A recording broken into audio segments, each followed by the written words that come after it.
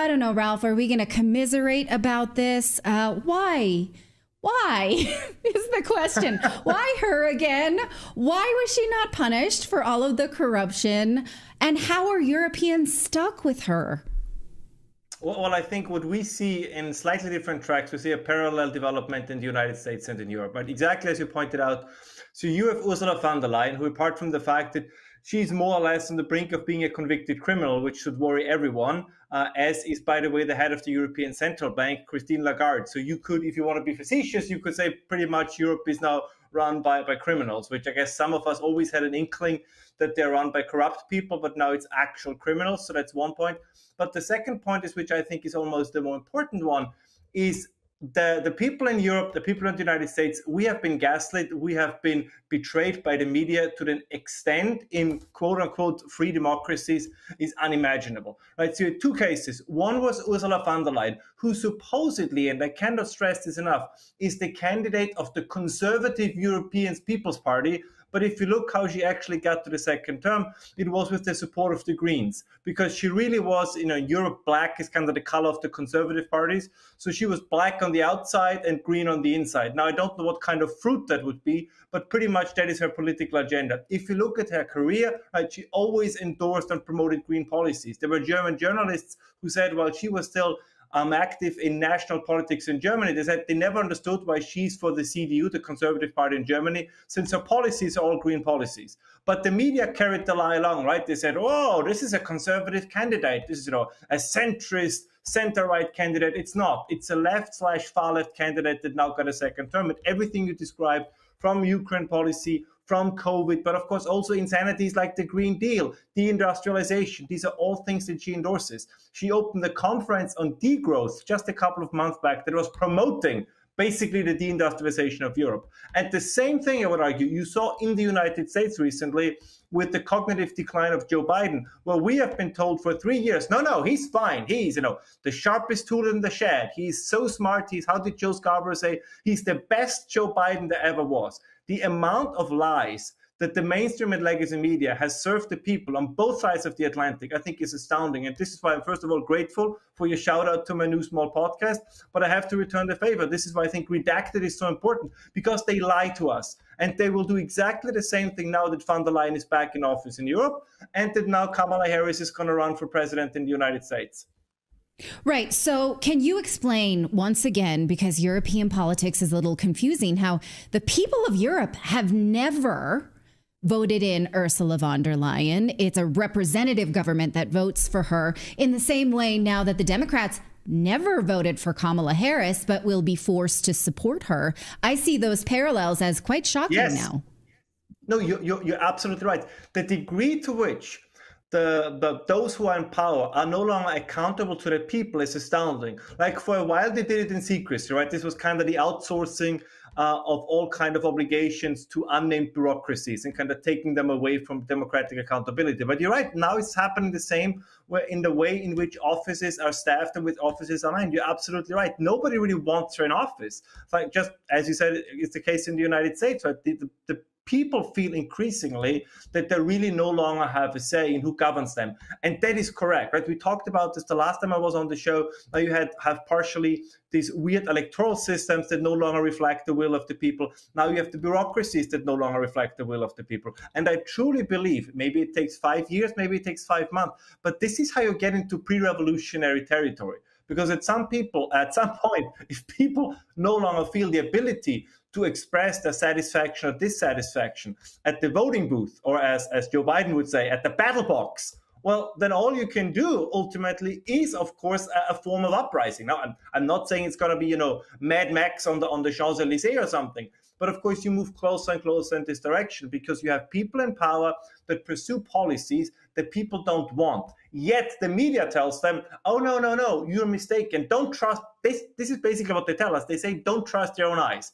And I found this in Europe worrisome, but I think in the United States, we saw it being driven into hyper gear the last couple of months. I mean, if you just as a quick last point, I mean, if you look at all the videos, and we talked about this, right, where they claimed, oh, it's cheap fakes, it's out of context, don't take it seriously.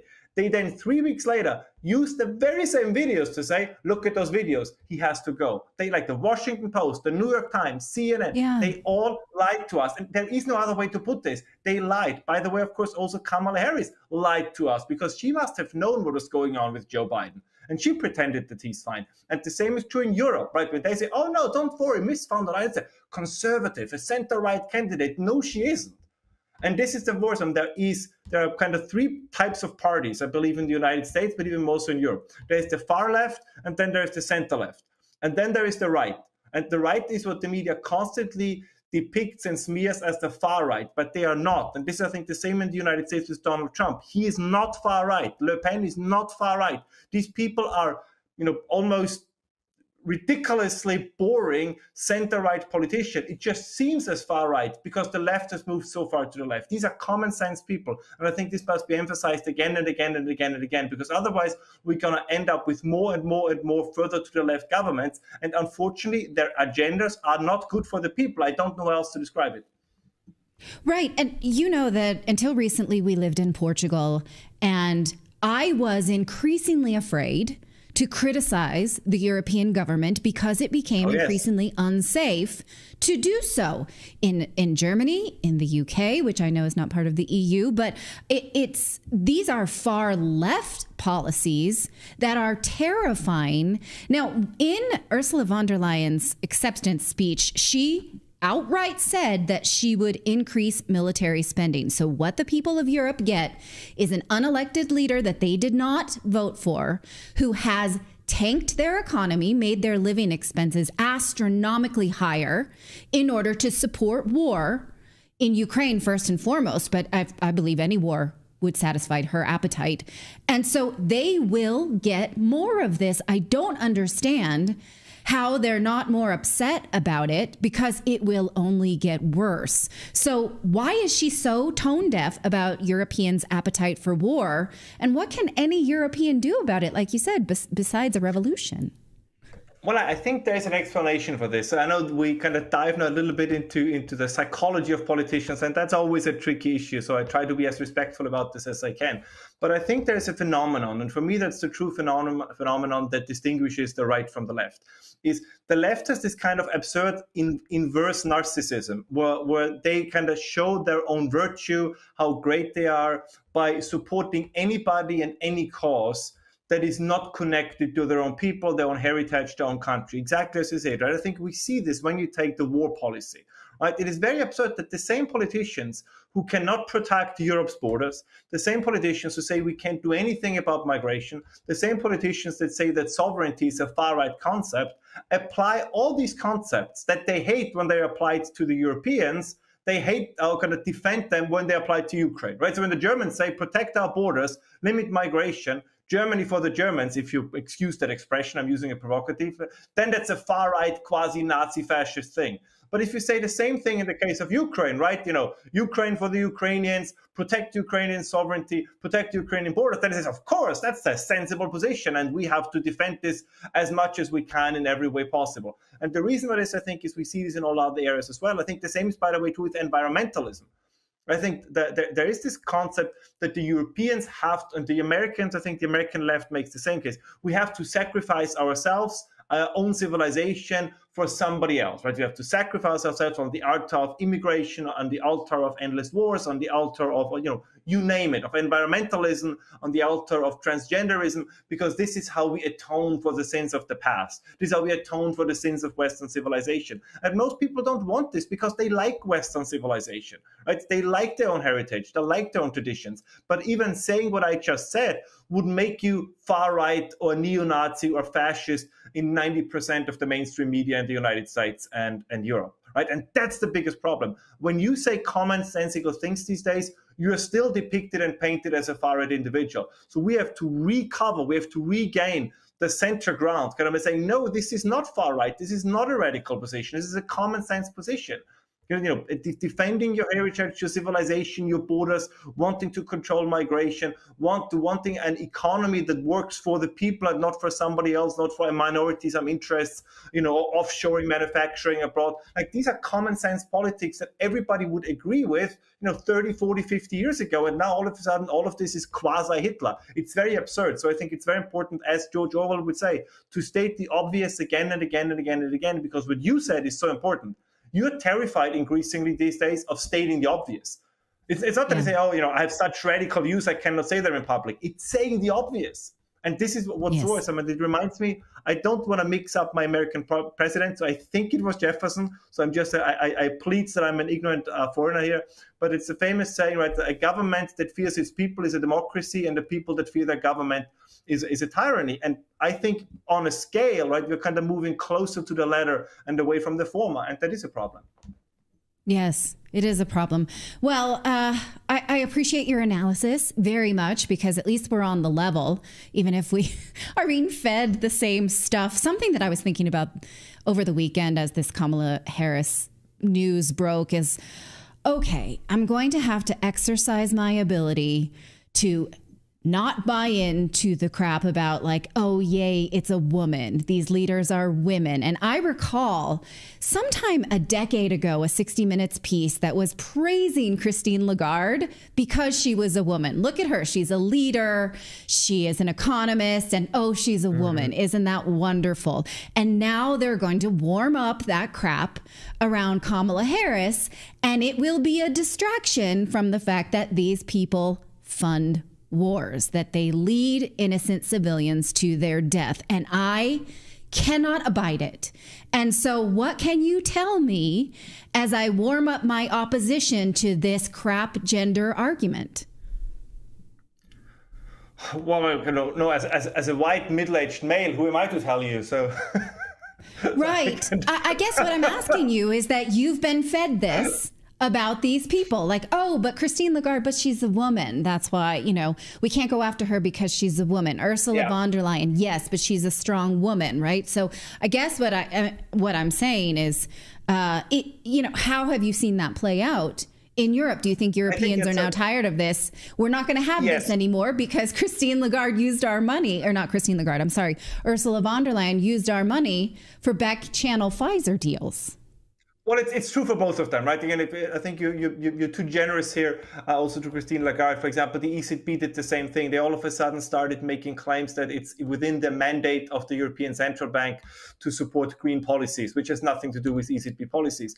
I would make the one argument, which is that contrary to what the left leaning media tells you, the Western man or the Western mind is not very sexist. And I think we have the best proof for this. Look at Giorgia Meloni, whatever you think of her policies in Italy. Look at Le Pen in, in France.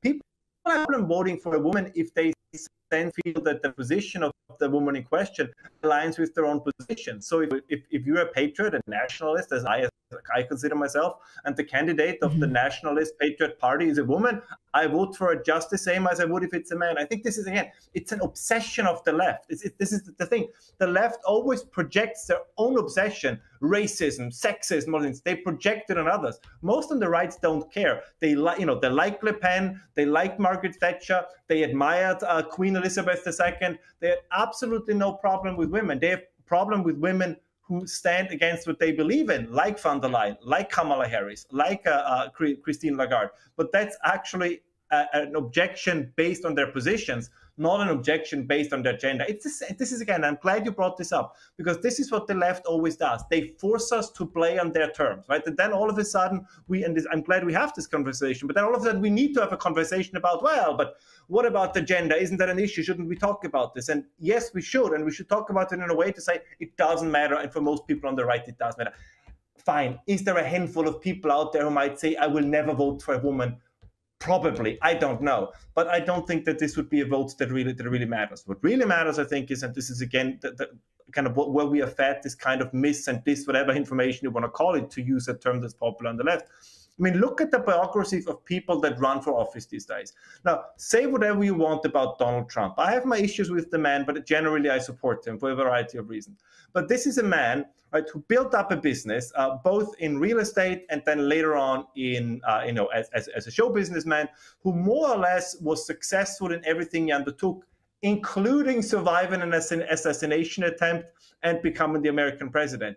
Yet somehow we are told that this guy cannot be led anywhere near to power, but lifelong bureaucrats who never did anything but, you know, run through the hierarchy of a party, who never created a dime of wealth in their entire life, who never did anything outside either the state or the party bureaucracy, like von der Leyen, like Kamala Harris, they are the ones you want to have in charge. And I find this so absurd. It's a form of decadence that has infected us in the West, right? What kind of we we we have our priorities mixed so much upside down that we honestly believe that somebody who never put in an earnest day of work in their entire life is better suited for high office than somebody who actually demonstrated throughout his career that he did something again, I said I have my issues with Donald Trump. There, there are things that I'm mm-hmm. not particularly happy with, but overall, this is an impressive man, and he showed that he is. I really want to make this point again. Um, in in the in the five ten minutes and and the days after his assassination attempt, this was a man. I have and I. I'm surprised that what this was the case. I didn't expect it, but that showed character, right? That showed a certain degree of heroism. I would almost say that we have not seen, you know, since the sinking of the Titanic. And, you know, what, what kind of people really put kind of their own selfish behavior behind a, a greater cause. So, so I hope that the Americans do see this because I think he would be a better president. And Europe for the moment is lost. So it's going to be up to you guys to you know to, to drag yourself and then us with you out of out of the mud. So November is going to okay. be a faithful election. That's a lot of pressure. you, I don't know if you know the Churchill quote that Americans will always do the right thing, but only when they've exhausted all other options. I'm paraphrasing. And I think that is correct. Uh, yes. Okay, so I make no promises, but I appreciate that. And I think, you know, I gave you a landmine to step in about gender and you handled it beautifully. So uh, I, I, appreciate your response very much. So we'll leave it there. Thank you so much, Ralph, for your time. Again, check out his new show, Hammer Time, on YouTube, and you can also follow him on Twitter. Thanks, Natalie. That's going to do it today for us on Redacted. But you know that we are in a crazy news cycle, so you got to stick with us. You can't go anywhere. We will be here tomorrow, same time. It's 4 p.m. Eastern, 1 p.m. Pacific. Uh, hey, check out the newsletter because the newsletter is a good Cliff's Notes for what we're going to talk about in the show. It's totally free, and we try to link you to all original sources so that you have a place to read and study and think for yourself. Uh, it's also maybe a little fun. We got a lot of tidbits in there. It's it's at redacted.inc. You just go there, put in your email address, and authenticate the email when you get it. And it's totally free. Like I said, there's no upsart, upcharge or anything like that. So please do subscribe. It's how we get in touch with you outside of the normal platforms that we are beholden to. So again, it's redacted.inc. Thank you so much, everybody. We'll see you tomorrow.